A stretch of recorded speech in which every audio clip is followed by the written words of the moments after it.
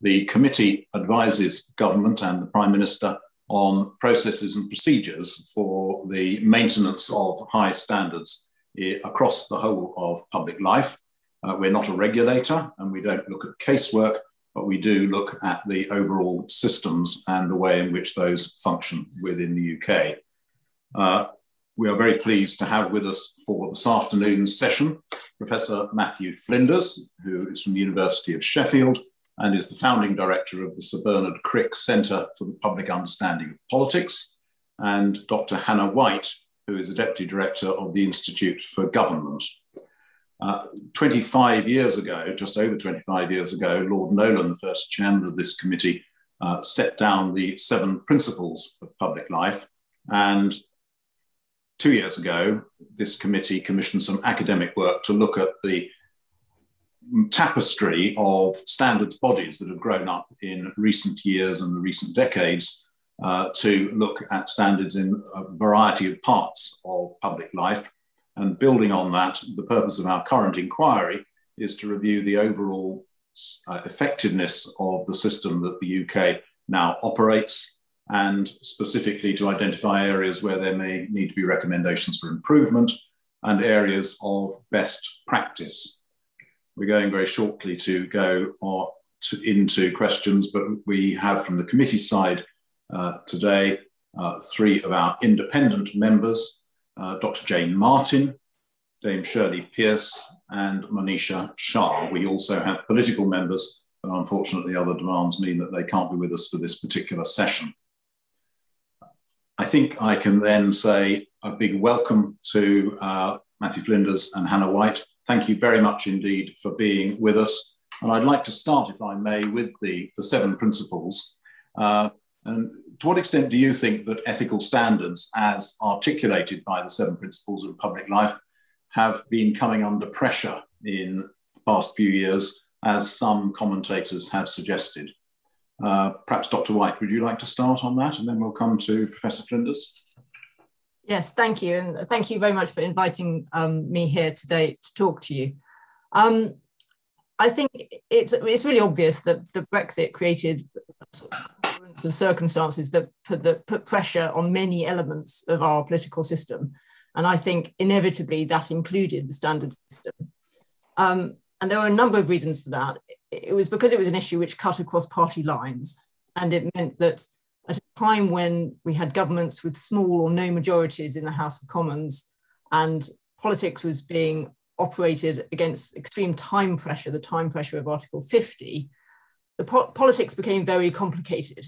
And I think that what that meant was that loyalty to um, or you know, enthusiasm for a, a certain uh, side of the debate um, or support for a particular individual who was um, uh, supporting a side of the debate became, for some people, more important than upholding of standards. Um, and we saw that on a number of occasions. We saw um, uh, two members of parliament, Charlie Elphicke, Andrew Griffiths, who'd had the whip suspended for standards related matters, who had that restored just in time for them to vote on a, in a vote of confidence, where I think that's a sort of a, a clear indication of, the, of the, the politics and the standards issues becoming unhelpfully um, connected. Um, we saw uh, language used in the House of Commons, which I, I know your committee has thought a lot about um, pressure um, and, and abuse online of, of, um, of, of, of, members um, of parliament and, and, and people in political life generally. Um, and, you know, I think we saw language used in the House of Commons, which deliberately um, uh, raised tensions around, around Brexit in a way which, you know, the evidence is uh, really led to increased um, online abuse of, of, members of parliament. Um, and then, you know, we had, you know, even a member of your own committee, um, they, they, they Margaret Beckett, explicitly say that she felt that a standards issue, um, uh, the, the issue of, of, allegations that had been made against the Speaker uh, uh, of the House of Commons um, in relation to, to, the bullying and harassment scandal that, that, that occurred, um, that on some occasions, some issues were more important than bad behavior. And that was, you know, a very um, explicit um, and honest articulation of the difficulty for many politicians um, in balancing um, their political role and, and standards issues at, at, at, times like this. And I think it was a really, it was a really um, explicit sort of um, uh, noticeable moment that, that that was something where there were standards issues which couldn't be dealt with adequately in the political environment um, because of the of the of the um, of the Brexit issue which was being dealt with at the time. Um, coronavirus similarly has um, created a sort of state of exception in many ways. Um, it's created that in relation, you know, because again of the time pressure and the life and death nature um, of the of the pandemic. It's entirely understandable that um, you know some things have been um, uh, some uh, some norms that we would normally expect to be uh, adhered to have been um, not adhered to. So in relation to things like procurement, public appointments, um, we've also seen not a standards issue, but you know lots of use of emergency legislation and so on in Parliament. Those things have been necessary to some degree, but I think it's really important that when we relax rules, we also think about how uh, we restore them afterwards. And there's a real danger, both in relation to Brexit and coronavirus, that um, things which happen in an emergency for situation for reasons that seem to be explicable at the time become a habit. Um, and I think that's the thing which we, we need to guard against at this time. And I, think we need to, we mustn't pretend that these aren't political choices. Um, you know, yes, in relation to coronavirus, as I say, there are real life and death issues. But Brexit was important though it seemed at the time and is and seems, you know, it was not a life and death issue. It was a political question. It was a question about our trading relationship with other countries. And actually, I think, um, personally speaking, that you know, the standards issues are about the whole health of our political system and whether the public has trust in our political system. And it's it's really important for politicians to, to sort of bear that in mind when they think that a temporary suspension of the rules or you know an exception to the rules um, is is justifiable in a particular situation. Thank you very much, uh, Professor Flinders.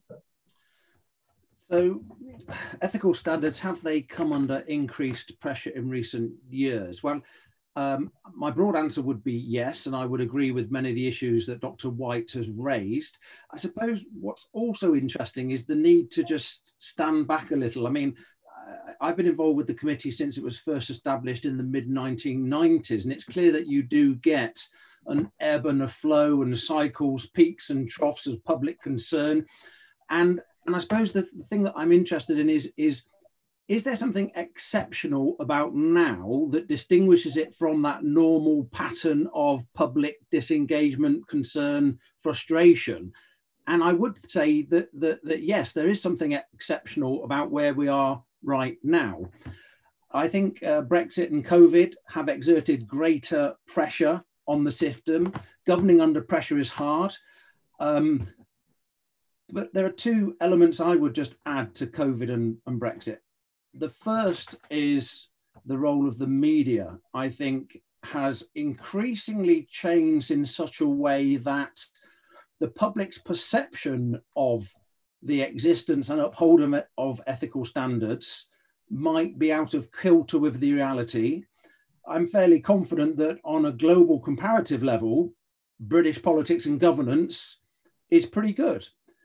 Now, that isn't the impression that you'll get from the media because the media believes that only bad news sells. So when there is uh, a breach of the, the regulatory framework, that will become the whole news and nothing else. So I'm not sure that a free media should automatically be judged as always a good thing. And, and the second thing is that the social context in which politics is happening in the UK and around, and I think this is really important, there is now a certain kudos in breaking the rules, in exhibiting bad behavior and offensive language in a way that simply wasn't there in the past this is linked to populism, it's linked to apathy. But for the first time ever in British political history, I would say that actual, actually being blamed and bad manners can be for some politicians a good thing. And it's that shift that is really worrying me. What do you do? You think that those are linked issues in terms of media coverage? Why why is why are bad why is bad behaviour now a selling point rather than a vulnerability in your view? For, for some politicians. Yeah, okay, uh, if you look at the data on public attitudes to politics, political institutions, and political processes, um, that data in the UK is pretty devastating.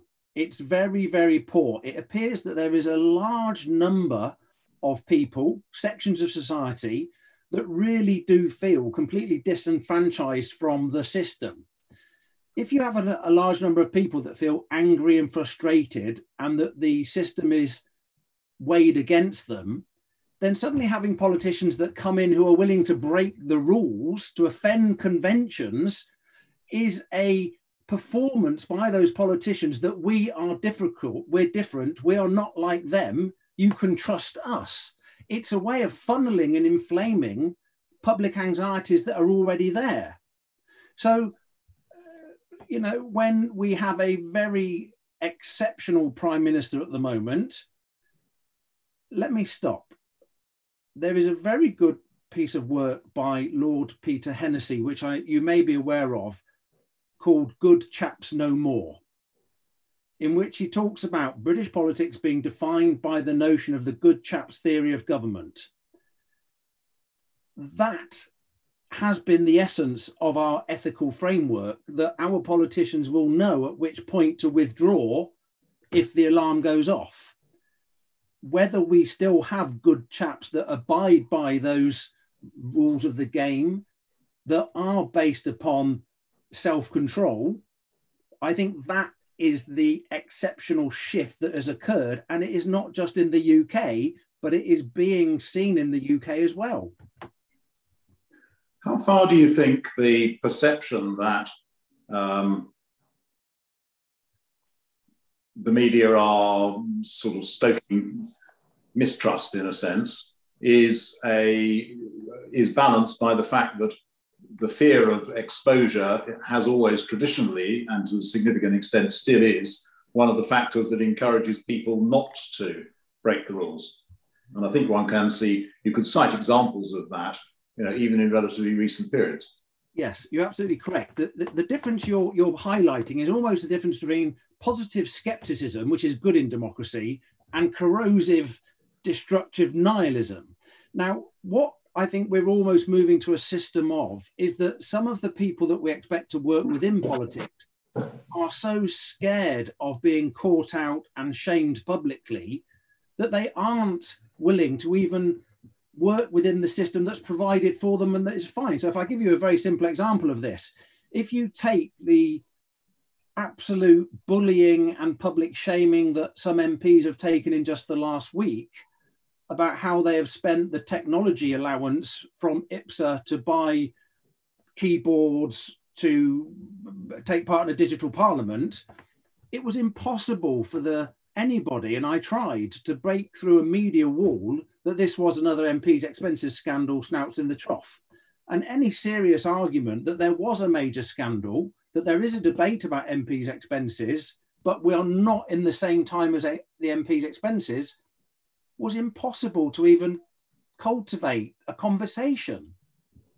And, and, and why that matters is because we have lots of very good men and women in politics who are now too scared to claim their legitimate expenses for fear of them being the ones that are picked up, shamed, and abused. And then that will just lead to a two tier political system where the people we really need in politics who don't come from moneyed backgrounds don't go into politics. Could I, sorry, uh, Dr. White, you wanted to come back on that? Just a small point to say that I think that the, the part of the problem in relation to the media is, is the black and white nature of the, or, of, the, of the judgments that are made. And I think that this is something that we need to reflect on in relation to standard systems because the, the sort of attitude of, of the media is in relation to any breach, you must be fine. Um, and actually, it's much more constructive, I think, to, to think about you know systems in which there are a range of sanctions for different you know levels of of of, of, of offence as it were Um, and I think it's that it's that level of, of nuance which is lost via the sort of strident media coverage, which makes it so difficult, which creates this sort of culture of fear that Matthew's talking about. Moving on from that particular area, how far do you think that an elect, a person in elected role, who is therefore directly accountable to the, their electorate, should be uh, subject to a separate, as it were, external ethical framework, or should we rely on the good sense and insight of the voter to uh, bring that accountability? Perhaps, uh, Dr. White, you might like to start on that one. So I think, I mean, there, there are various different ways you can come at that question. One is that I think, you know, there should always be a broad ethical framework in which all elected um, politicians are, are operating. Um, and I think that the Nolan principles are a terrific sort of boon that the UK has, that there is a sort of agreed set of sort of common sense um, standards. Um, but I think then it depends on the nature of the issue. So it seems to me that there are some um, some sorts of um, activities which elected um, uh, politicians engage in, which are matters which are, you know should be subject to rules and ethical rules. And you know that for too long there was an assumption that um, there were uh, matters, you know, that most matters, because of the exclusive cognizance of, of Parliament over its own affairs, there were matters which only politicians should um, determine for other politicians. And I think it, it's, a, it's a good thing that following the expenses scandal, you know, there are a set of rules in, in place in relation to financial management. That's, that's just, you know, that's not something which is to do with the democratic mandate given to, to members. They, they, they receive public money, they ought to follow the right rules. And I'm also pleased that in relation to, to um, the following the, the, bullying scandal, which happened recently in Parliament, that, that, that normal sort of HR standards are now sort of seen as something which um, that politicians should follow. On the other hand, there are matters which are more related to, to, to politics and political judgment. Um, and that's where we get to the sort of ministerial code and so on, where I think um, it, it's less clear cut. Um, and the decisions about whether uh, MP should continue to serve the Prime Minister in his cabinet, um, in my view, couldn't be made by anyone other than the Prime Minister. So I think you know there's there's the broad framework, but then you have to look in detail at, at, at what the thing is that the person is being regulated for doing. Thank you, Professor Flinders. I, I, would come at the whole issue about ethics and accountability through the notion of a, an, an, ecosystem, in that just because you're elected, it, it, doesn't give you carte blanche to act in any way you want until the next election, in terms of it's the ends justify the means.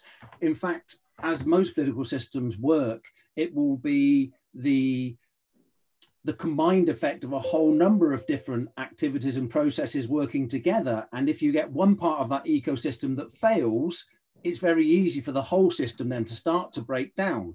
So, yes, you know, the electorate can hold their politicians to account at the next general election. We have uh, parliament which can hold the government to account to some extent, but that in itself needs to be layered with a more sophisticated tapestry, I think was a word Lord Evans used at the beginning, the, issue with the tapestry that we have created, and it has been transformation over the last 25 years, and it goes back to something that Dr. White just said, is that um, it was incredibly amateurish. And in some areas, it still is. And the bullying in, in the House of Commons and House of Lords has led to what is actually an incredible incredibly simplistic introduction of but fairly basic HR processes. But the system itself is still overall quite soft. It lacks a hard edge. And I think that's maybe what's come out most recently. So, could I, before I hand on to colleagues, in the light of you know, what's been being said so far, how do you think our existing regulatory system is working? How effective is it uh, in comparison with the challenges that it faces? Perhaps we'll start with uh, Professor Flinders and then ask Dr. White to comment. Well, I'm not going to win any popularity points with the British public or the media, but I would dare to suggest that it actually works far well than most people realize. Our regulatory framework is generally part of the hidden wiring. I'm sorry to keep repeating uh, Peter Hennessy, but it really is part of our hidden wiring. It makes the system work, but generally it doesn't attract a lot of attention, and, and nor should it this has served us well in terms of it's been flexible, it's been adaptable, typically British and organic. But I suppose it, whether it is kept pace with the changing nature of society in quite the way it needs to is something that I'm not sure about. And I suppose the question I'm have lurking in my head is that our hidden wiring might need to be given slightly more um, visibility and a slightly stronger voice. Dr. White.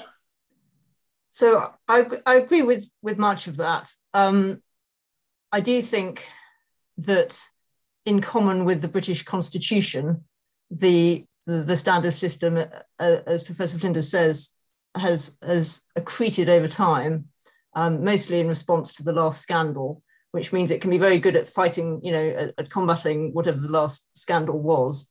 But that doesn't mean that there's necessarily an overall sort of planned sense in which um, it, it, can be forward looking and anticipate the challenges which are, are, are, coming down the track. It tends to be reactive rather than proactive.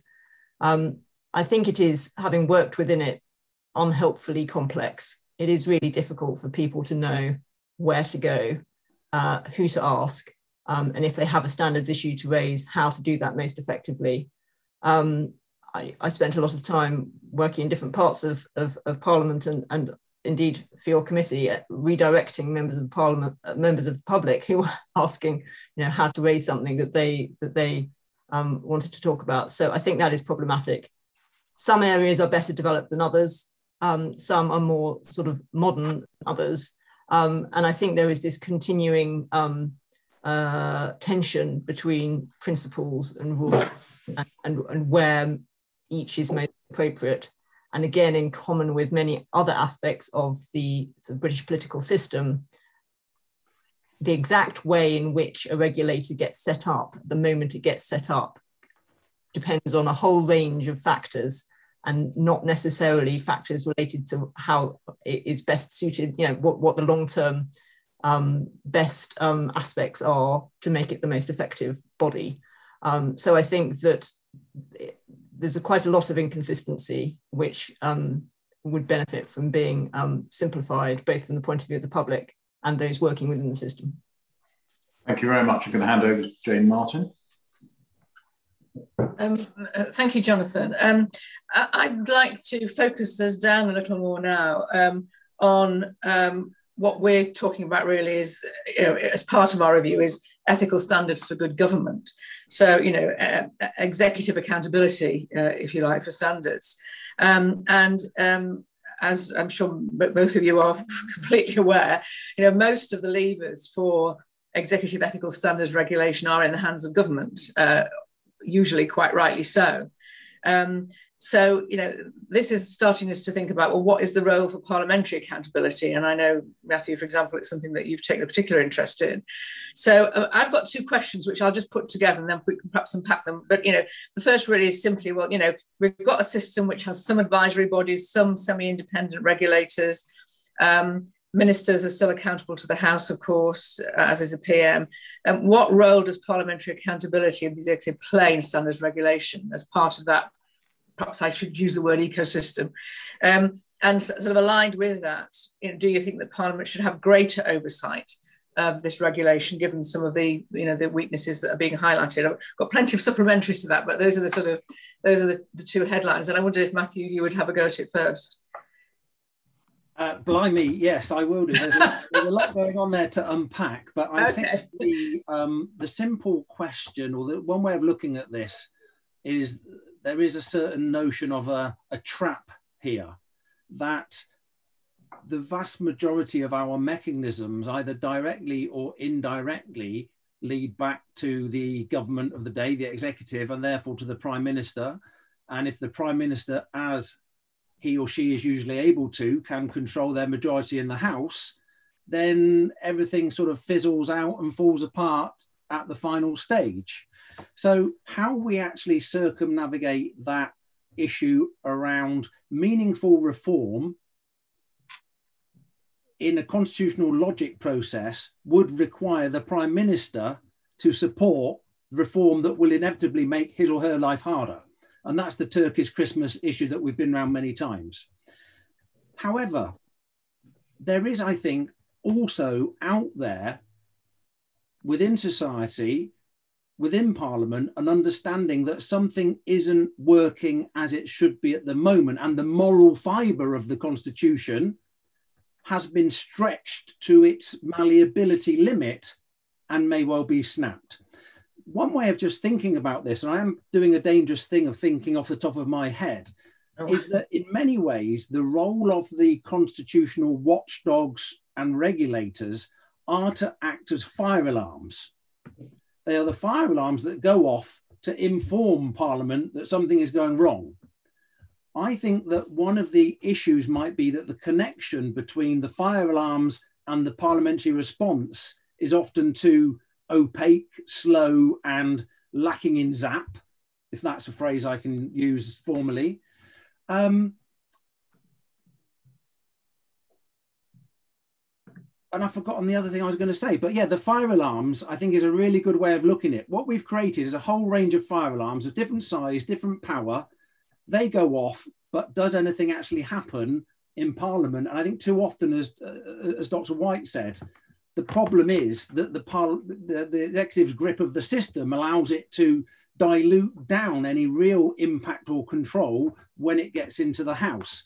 Ah, yes, but the thing I was going to say about the fire, fire alarm is that maybe what we could think about collectively is one reform which I think has always been overlooked is the power of voice. It isn't about giving the regulatory bodies more formal constitutional powers, but it might be about giving them more voice to engage with the public and therefore bring pressure on the government indirectly, which wouldn't fundamentally mess up the constitutional structures. I've always been maddened probably why I've got no hair left, by IPSA and the Electoral Commission, who have no formal statutory role to promote public understanding about what they do or why it matters, and that all MPs aren't on the take, and that all elections aren't rigged. You know, if if these regulators had more of a public duty, I think change could happen. That would increase the anticipatory influence on our politicians. Can I just stick with with Matthew for a moment? Uh, because I mean, you you've done work on uh, select committees, for example, haven't you? And and uh, PACAC, I think in particular. Yeah. Uh, so so uh, I'm just thinking of that as an example of uh, you know what certainly what I would term as parliamentary accountability. You know, it's part of the it's it's a part of the toolkit, um, and certainly we've heard from other um, contributors thus far in this review that you know thinking carefully about um, uh, and properly about executive authority, the, the, authority of the prime minister in particular, which is absolutely right. In in particular cases, uh, you know, it's his cabinet, they're his ministers, etc. But that there might be or there should be greater accountability for the decisions he or she might take, uh, you know, i.e., accountability to Parliament so it's wrapped up in the same thing. I just wondered if, from your research, you had anything further you you could help us with on that. Well, two things on that. First of all, select committees are a core element of that ecosystem. Select committees often get a bad rap, and yet they do an incredible amount. Most of the select committees' work takes place off stage. So yeah. it's influence, control, accountability, which is very hard to target or read within the reports. But that doesn't mean it isn't having an influence within the corridors and, and the offices in, in Westminster and Whitehall. The other interesting thing is that in recent years, select committees have had some significant success in engaging and stimulating the public and pulling them back into some commitment to our established parliamentary processes it's not that the public aren't interested in politics or are necessarily apathetic. It's more close to the truth to say they no longer understand how the system works or where to go to help play a role. And I mean, the, the, the landscape review that um, uh, Rebecca Dobson uh, Phillips did, I thought was excellent. But it's 60 pages of pretty intense, you know, you, you, you've got to have a pretty good political literacy to even start to know how to navigate that terrain. Sure. The link with select committees is I, I, th- I don't think we should always think about ethics and accountability as necessarily going upwards to the no. chain through parliament ministers that way. Yeah. there might be an innovative space that we haven't thought about, which yeah. is about the broader ecosystem and facilitating a broader connection between that ethical framework and the public more directly. Sure, sure. And so, just finally, because I, I, mean, I just just too good an opportunity since we've got you here on, on this. And then, but uh, uh, so, would you be, you know, do you think there is an opportunity? Would you be in favour of? Do you think it would be a good thing if we thought harder about some of the greater oversight and regulation that came through Parliament on the on that basis precisely because you want to get through to the public and the MPs are representatives of the public after all. And you know so is there an opportunity there? Just to sort of try to nail it. Yes I suppose what I'm trying to be here is is very honest about the raw politics here. Yes. You know, yes. I know Boris I know the system if the executive sense a threat within the established framework, it will close it down. Yeah. Okay. However, if you think more indirectly and innovatively about bringing the public into the process, yeah. I think that wouldn't be interpreted as so obvious a threat. Okay. Thank you. Sorry, Hannah, I've, I've kept you waiting a rather long time. Sorry. Um, I, uh, lots of different issues to pick up there. I mean, I think um, building on something that uh, Professor Flinders said earlier, I think the select committee system is um, is a very positive um, mechanism within the standards system, um, and more so than in many other parliaments, because select committees are genuinely have a sense of their independence more in Westminster than they do in most other parliaments, and they are capable of disagreeing with government, and even when they have a government majority, which most of them do, um, I think Parliament's main role is about visibility, um, and that's via select committees um, picking up on these issues. But that can be quite um, uh, sporadic. Uh, depends what else is going on at the time, what issues get picked up and don't. So it, can be a bit hit and miss. Um, but the other role, of course, uh, of Parliament can be in the chamber. Um, and we've had good innovations recently in terms of, not that recently, but um, uh, in, in, relation to sort of topical questions, um, more use of emergency debates and so on. So if there is an issue which has been raised, which has been flagged by the fire alarm, um, you know, that can be picked up um, in Parliament and discussed. And I think that that visibility, so, you know, it's obviously the Nolan principle of, of, of greater openness around these issues um, can be really valuable. Um, I do think there's a question though, which relates back to you know the inevitability of of how um, you know different parliaments are different. After each election in each situation, you have different majorities, you have have different political situations, and is it right um, that um, the extent to which there is public you know visibility for standards issues is dependent on the size of the majority in the House? Um, or whether you have a, a weak or a strong opposition and these sorts of things. And that's where I think I'd go back to Professor Flinders' point about um, uh, standards regulators needing to have uh, the sort of power to, to, to, publish and to, to sort of say what they think openly. Um, because if they can't, you know, attract attention via Parliament for whatever reason, then they need to try to, to, to be able to do that in other ways.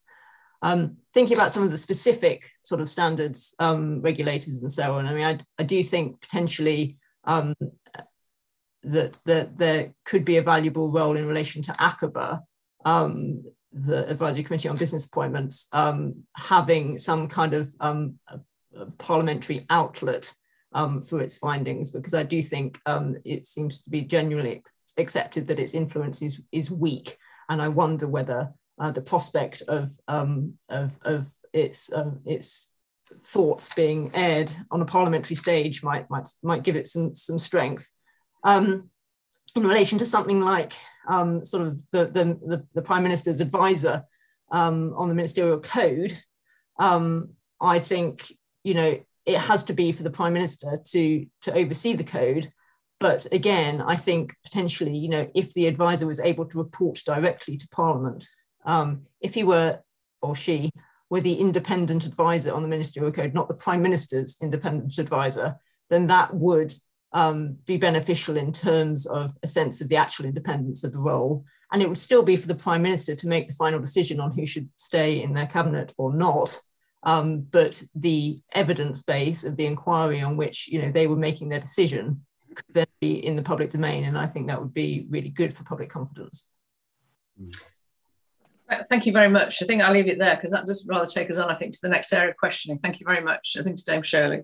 Yes, thank you very much, uh, both of you. Really interesting discussion. And you've talked, both of you, about um, the complexity, the tapestry, um, to use that term, and the sort of evolutionary nature of it that we get good at um, responding to the last crisis, um, but we, we, can't always anticipate that that's what it's going to be.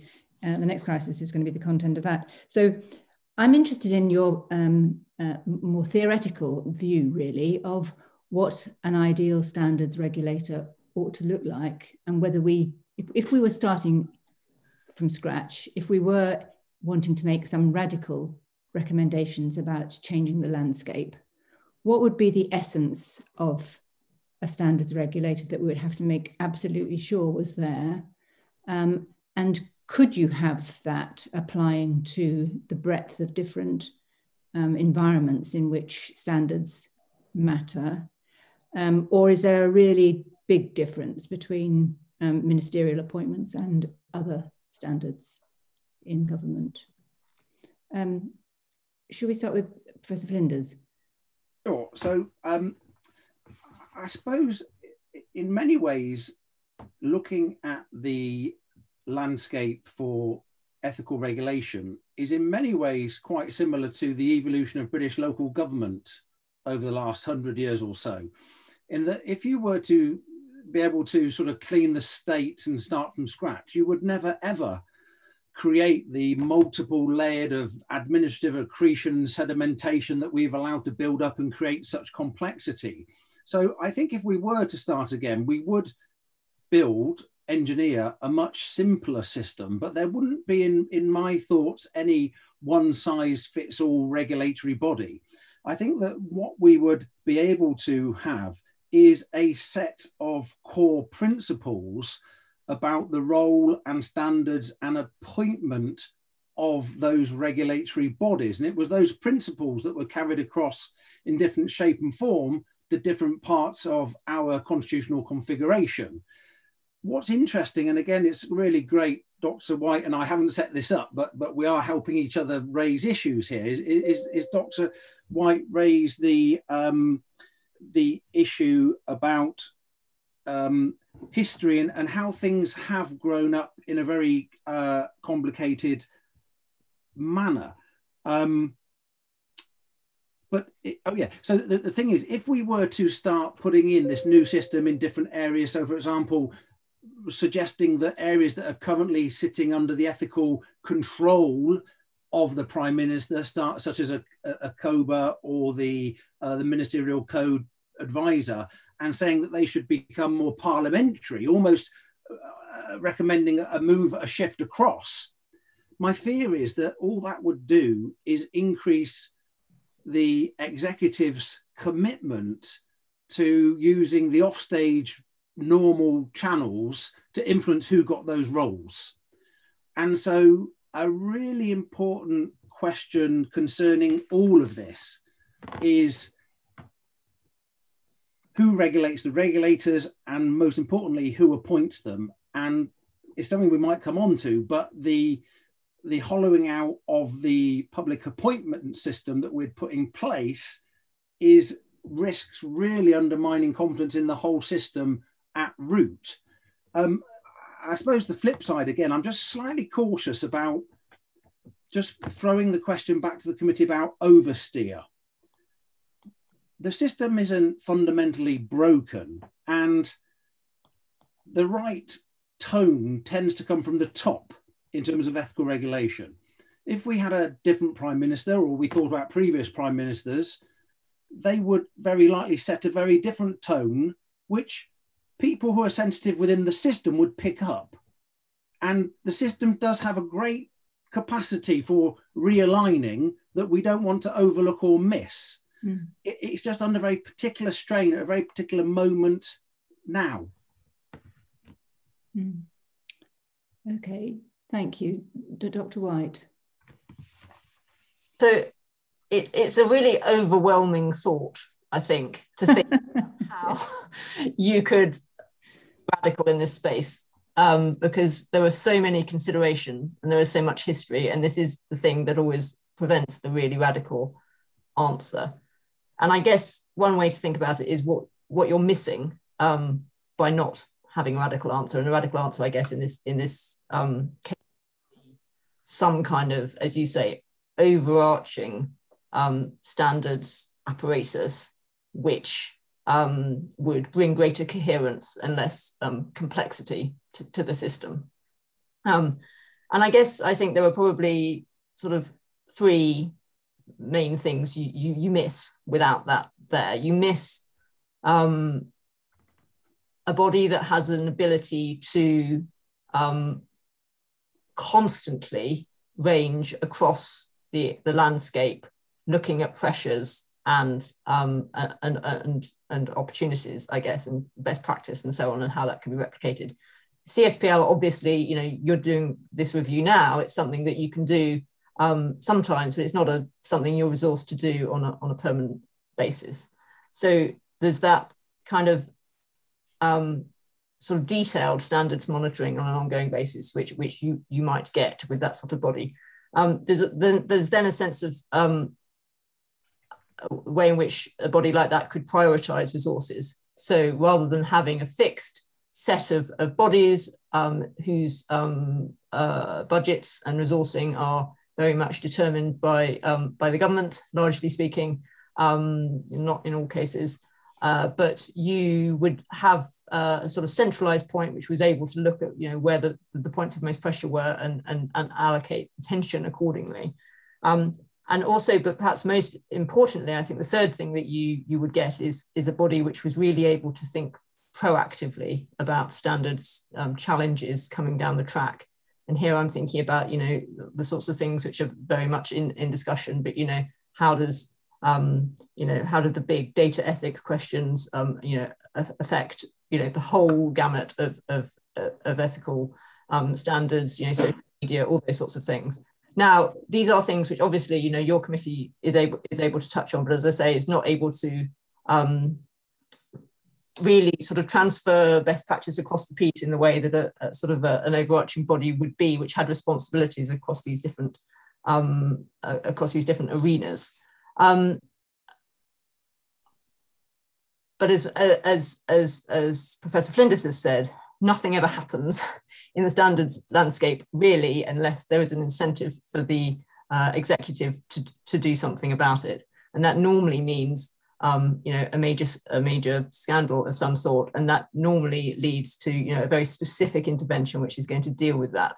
So I think it's probably, you know, it's unrealistic to think that you um, might move to a, a, a, system, you know, closer to say what Canada has with, uh, you know, more of an overarching ethical ethical regulator. So I think, um, practically speaking, we're, we're probably talking, you know, more about how to regularize and, and improve the models that we have. And there I think, uh, sorry, I'm talking for a long time, but the, the, key things I think I would say in terms of sort of characteristics of effective regulators, and I think that it does vary a bit depending on what you're regulating, but you need a high degree of independence. You need uh, the sort of person leading the body appointed through an open process, preferably with parliamentary involvement, uh, some kind of pre-appointment hearing. I mean, you don't need to go as far as sort of the the OBR type, you know, parliamentary sign off, um, but some kind of parliamentary uh, involvement, uh, preferably uh, powers established in statute, clearly defined powers. So uh, preferably you would want regulators to be able to initiate investi investigations, to publish their findings, to be um, uh, uh, promised a response from government to, to, the, to those reports.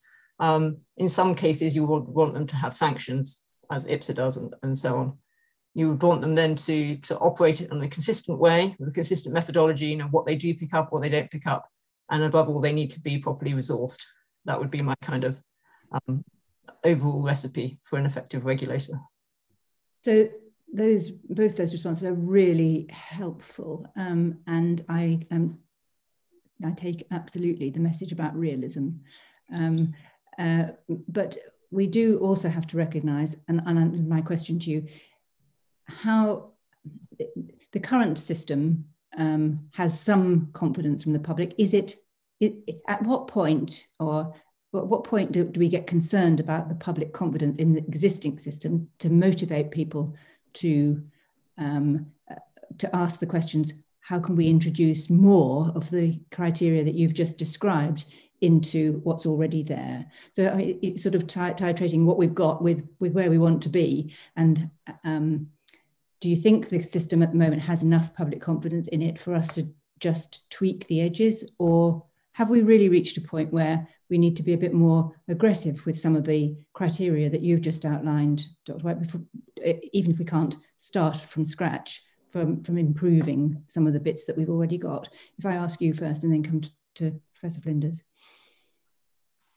Yeah, so I guess um, there's two different ways to comment into, aren't there? So, you know, it, it, I guess I think you're asking, you know, at what point does public concern get high enough that there's that you reach the sort of um, the, the, point at which you can motivate people to act, um, which is um, which is probably again right and realistic. Although you know it would be nicer to think about the benefits you would gain from greater trust in the system also being part of the um, the, the sort of calculation of of you know if we've seen anything from the coronavirus um, pandemic, I think it's the importance of public trust in government and public trust that the, the, people who are running the system are doing so for the benefit of um, uh, uh, of the whole population, and that you know if you compare internationally, um, you know it's clear that in different different political systems you have different levels of confidence, and, and different groups in society have different levels of confidence in, in government acting on their behalf.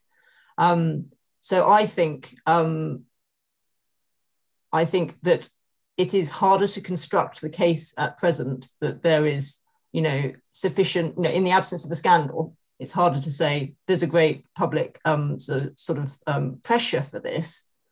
But I think it's almost worse. There's a sort of that it's the public apathy, the public um, sense that actually they're all as you know they're they're all just as bad as each other, and why would I pay any attention to this? Which mm. real problem um, which, which politicians ought to be seized of, and they ought to see the, the potential benefits for them and for the governing of the country um, as the prize, if you like, rather than just trying to avert the, the sort of disaster of, of, further declining confidence. Mm, okay, that's really helpful. Professor Flinders. So um, I think I think one of the um, unfortunate issues around politics more broadly is that major transformational change is usually born through crises. And I wouldn't say, although lots of people are keen of saying this, that British government is in a crisis. However, what I would say is that I think we are running on vapors in terms of public confidence or malleability of the current system under the current pressures. So my fear is that it wouldn't take too many more examples of our government and particularly the prime minister refusing to play by the rules of the game as they currently exist to really set off wide ranging concern about whether we were moving towards a more serious system. Now, this goes back to the, the first point and, and Dr. White's point about from an academic perspective, the problem with our regulatory framework is that it has a hollow crown.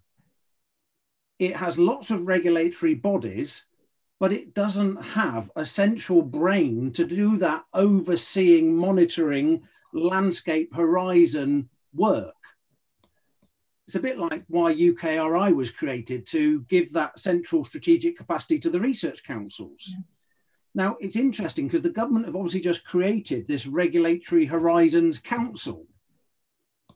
And in many ways, that is exactly what is needed. in the area of ethical regulation of government itself. It's to be more proactive and positive rather than constantly reacting when things go wrong. And again, a lot of this will be to do with framing. How do we frame this so it isn't all part of the sort of yah boo negativity? And actually, we sell it as a positive for British society and for the government and for everybody. And there might be an opportunity here, because I don't know if you know about this, but there's a very strong case being developed for a new Institute of Regulation. Do you know um, about this? I don't, but I'm sure my colleagues do. Okay, well, I can let you. Yeah, well, we, we, should find out. Perhaps I'm very conscious about the time, so perhaps that's something we could follow up with yeah, you sure. offline. Um, that would be extremely helpful. Thank you very much. Thank you both of you. I'll hand over to Monisha Shah. Good afternoon. I, am afraid uh, we are very short on time, and it's been a fascinating conversation. You've picked up quite a lot of the questions that I had. If I may end uh, our session with one question to you both. I mean, um, Dr. Flinders, you, uh, Professor Flinders, you said you undertook when you undertook research on public appointments in 2015. You said uh, that uh, I think you said that the British, that British ministers were amongst some of the most constrained in Europe. How would you characterize the patronage powers of ministers today? Can I ask the same question of you both?